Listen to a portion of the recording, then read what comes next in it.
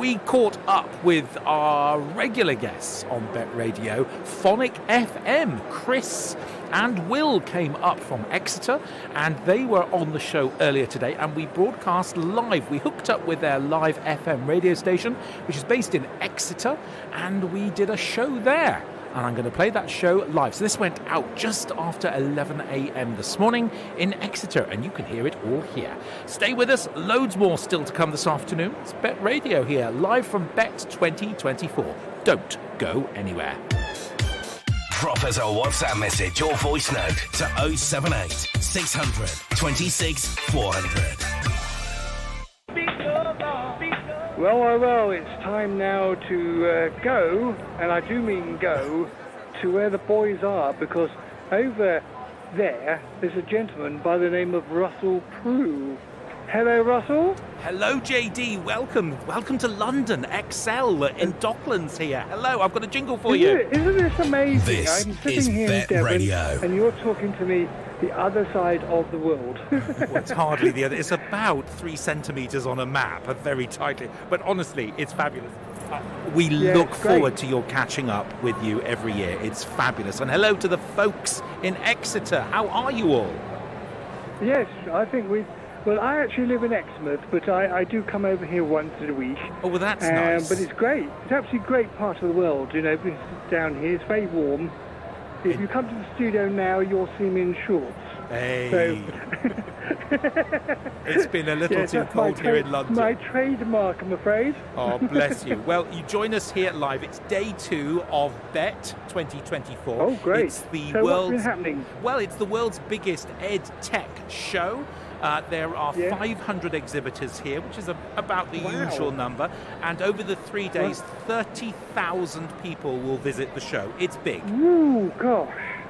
It is Wow, good. well, And there's lots of that it. We had. Uh, uh, Can you get your mind around that? uh, no, you know, it- no, it was- 30,000 people. It's a challenge for Like Will, to be match. perfectly honest. It's it's it's been a challenge for Will for years, but he manages. He does. Yeah. And I've got Will and I've got Chris here who visit. Uh, Yes, our- I, I've just Hello. Been talk- just been talking to them. Yeah, hello, Quill, Chris. Good morning. I've just been talking to you earlier, haven't I? So Yeah. I do know you're there. uh, it He's is got- good. And, and they visit they visit my studio every. year. I've been broadcasting, and this is my 39th BETT. Uh, yes, I, I've uh, I read that on Facebook, and I was absolutely flabbergasted, mate. Wow. Must be, you must feel old. I, I am old. It's my 60th year, so I'm looking forward to a card from you, JD. I think some, no- nothing well, too garish. Would Just you some- like it? I'll see if I can find a very big one, just for the eyesight. You're really kind. Uh, so it's about celebrate. The whole event is about celebra- celebrating uh, IT and education. So typical visitor profile is an educator who comes Yeah. to look for something new and inspiring for his or her classroom. Um, other Right. folk come. The uh, Secretary of State for Education uh, comes uh, Yeah. to deliver her speech. I'm sure that's a nicely polished and very well rehearsed uh, rhetoric based uh, speech. Uh, that was yesterday. We had Louis Theroux, who was here interviewing Loyle Carner, who's a, a rap artist, I'm reliably assured. Uh, I don't play his music on my channel for some obvious reasons, but he was very popular. very popular with the audience. But is that a bit, bit, bit young for you? Is it? Oh well, it's not in it. It's the vocabulary. It's just not. Oh, it, it's right. not Oh, yes, suitable yes. for mixed company, if you Yes. understand my meaning, really. So, yes, no, uh, no swearing, no. no, yes, not on I, my I know channel. that. Yes, I've been broadcasting for years. I know. And that's No. on hospital radio. Yeah, well, indeed, yes, I know. People don't want to hear it, so bless them. So he was very popular speech. We have um, uh, tomorrow's very good. Floella Benjamin, uh, Baroness Benjamin, Mm-hmm. is here tomorrow, and I'm hoping to get her on my show. I do a live uh, broadcast on my radio channel at two o'clock each day of the show, Mm-hmm. and this year we've added video. I've never had video on um, on my channel before, so that's been an added complication, but really fun. Yesterday's show was brilliant. I really enjoyed it. Right, I'd like to see that. Is that going up on Facebook? It is well. It's a bit big on Facebook, and of course I've got copyright music in it, so it's actually hosted on my LearnRadio.net website, which is my educational broadcasting arm of my business. So LearnRadio.net. If you head there and click on BETT Yes. Radio, you'll be able to watch and listen separately as a podcast um, to yesterday's show, which over two hours we managed to, and only a third of that was pre-recorded. Uh, two thirds Oh, is, is just stitched live. We, you know, people Great. see us. We people drop in. Uh, they want to talk to us. They, they come along, and we, we stick them live on, on the show. It's it's a little Oh. uh, flying by the seat of your pants, JD. It's a little scary in places, but honestly, Oh, that's, bit, that's getting a bit close, that is. well, uh, you know, you can always go to a music. I only managed to play one music track, Sister Sledge. That'll that'll be right up your street. Actually, we are family. I played that Sledge is yesterday. Oh, well, yeah. I know it's you. We know I, your I will tastes. prefer Shakatak myself Well, because I can get yes. up and do my thing. Down, oh, down on the streets is another favourite of mine. Do like Yeah, British on the street, On yeah, the streets, that's a good one. absolutely. We, Yeah, we that's can. brilliant. Do, I've got vinyl on the uh, on the studio uh, tabletop as well. Um, I've got Really? Kylie's local, uh, her latest uh, Tension album, which is just stunning. It's I've got it in pink vinyl, and that's causing a lot of interest because, of course, you, it, it's now quite possible to, to, to meet an early careers teacher who who hasn't seen vinyl has Right, never seen vinyl in their life. No, Uh, and no, that that's is- right. uh, and they're spinning That's on a deck. the- It's just bizarre to The them. DJs of today don't know, you know, how to actually queue up things, you Nope. know, because it's all push buttons. Indeed you know, it I, is. I can, I can still do turntables, no problem. So I'm- you can see it's how you brought up. Indeed it is. So there's a slip mat on there. They won't know what that is either. And I've got a Numark deck. Other decks, of course, are available, but it's got auto reverse on it, so it will auto cue uh, a song up. I just have to kind of aim it for the gap, and it will go backwards and forwards. It's it's cute stuff. I've paired that with a, a, a Numark digital.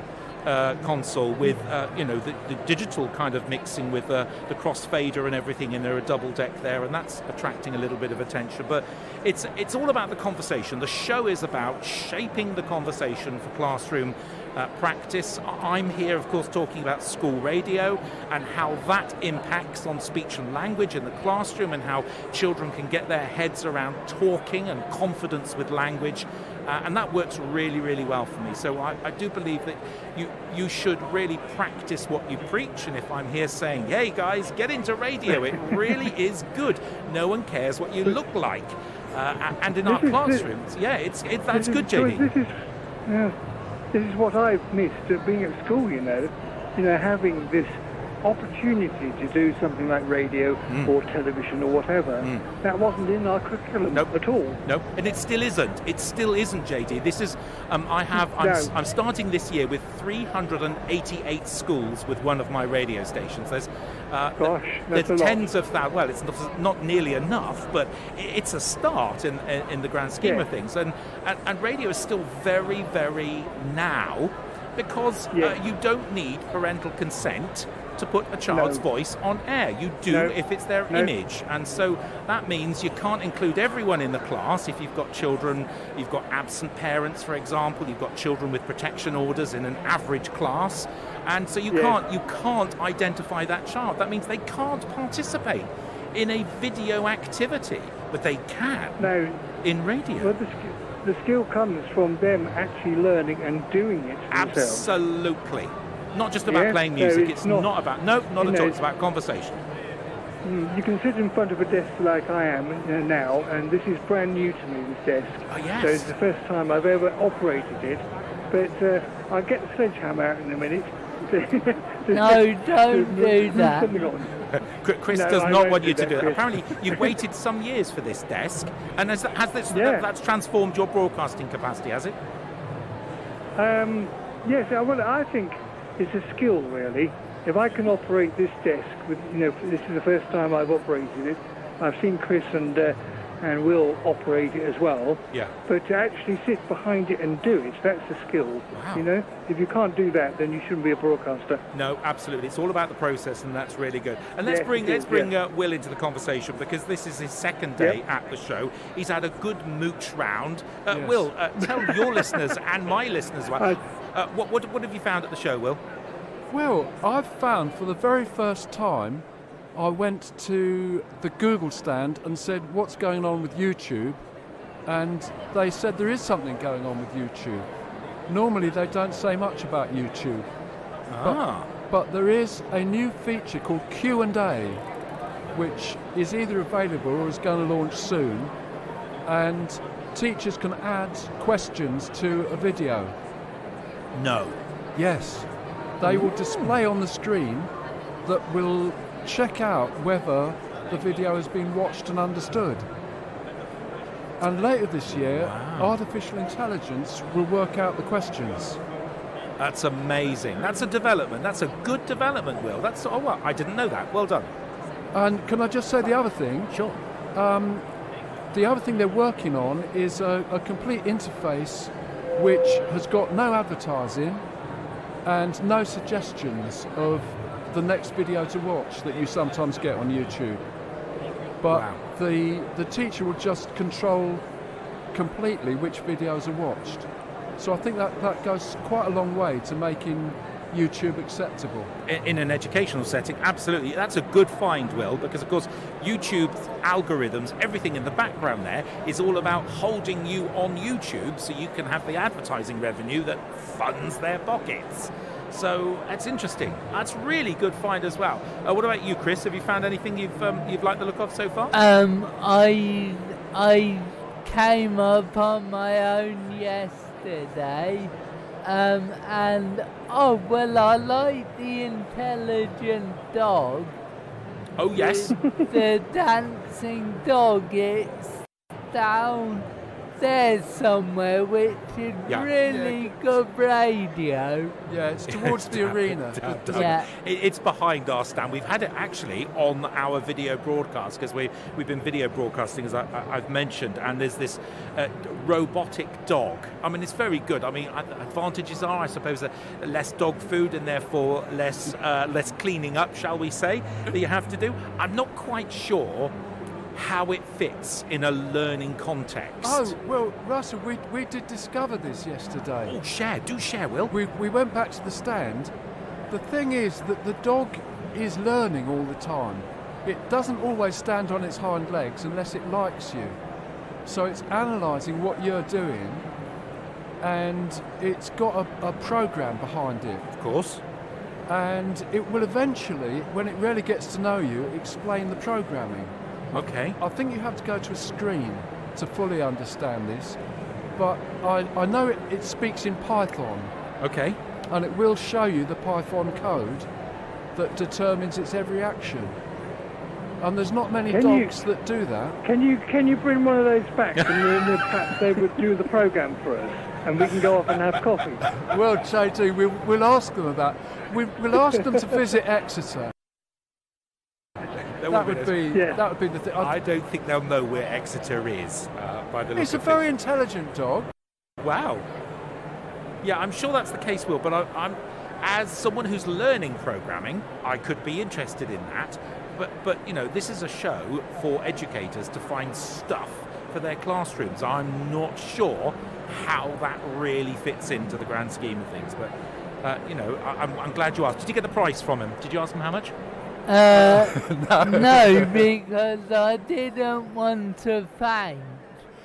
no, it's a, a small car. I think you could buy a family hatch. Yeah. Well, pr- all But- right. Well, but JD, we will ask them to visit. We'll ask them to come Yes, down to I- Exeter I- for a I- couple yes, of days. I, would like it to come to the studio and see if we can do a program, right. and then uh, treat, treat me to a nice uh, latte afterwards. That'd be brilliant. That Yeah. sounds a good scheme. Did you get my photo, JD? I did, yes. I got ah, your photograph, okay. so yes, We- I did we- respond to it. we, we Yes, have, we, we were communicating through the phone, so so we're we, ha- well. we, we have It's sent working. a photo of the dog. Yeah. But Russell, shall I tell you another thing that that I found, Do, do please. and that's which Chris and I both both saw yesterday is im- immersive reading from Microsoft. Wow. Tell me more. Well, they they have this as, as a, an, an access feature, but I think it could work for a lot of people. So it takes any any text and it loses the background, all the all the graphics, and then displays it in any font, any size, and it analyses which are the verbs, which are the nouns, and it puts those in a different colour. Wow.